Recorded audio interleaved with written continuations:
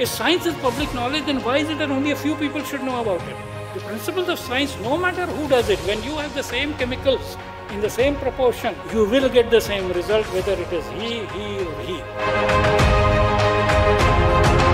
Yeah, this is a very unique uh, summit and I think is very badly needed at this point of time in India.